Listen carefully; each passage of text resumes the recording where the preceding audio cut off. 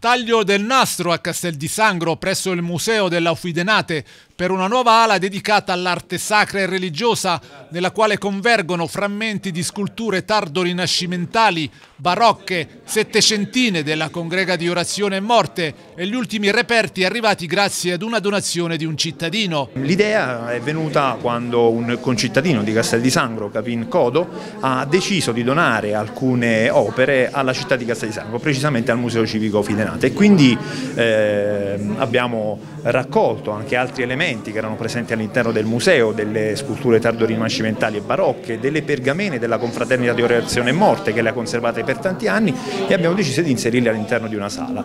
Questo sicuramente anche per far emergere il, eh, il rinascimento abruzzese che molte volte è poco conosciuto.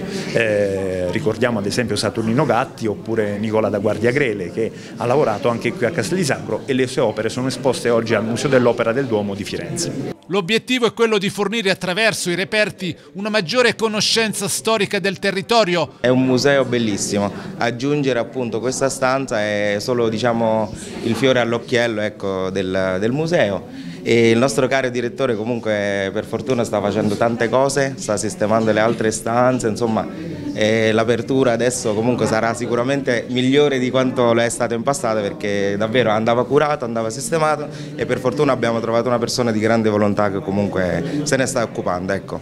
Le peculiarità di questo museo? Le peculiarità di questo museo penso già la sala stessa, questa sala stessa per dirle, è appunto una peculiarità. Tante cose sono di solito anche trascurate ecco, nelle chiese, eh, negli altri musei eccetera.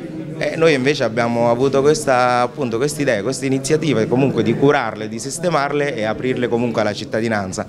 Risulta vincente la musealizzazione dell'ex convento della Maddalena unita agli interventi di conservazione, ricerca, documentazione dei nuovi allestimenti dei servizi di gestione, amministrazione e promozione. Ma intanto abbiamo rivolto i ringraziamenti alla famiglia Ciccarelli che ci ha donato queste opere di arte sacra che in questo luogo ovviamente sono più che pertinenti e adeguatamente esposte, non fosse altro che questo è un ex convento francescano, quindi già un luogo che ha avuto la sua sacralità nel passato.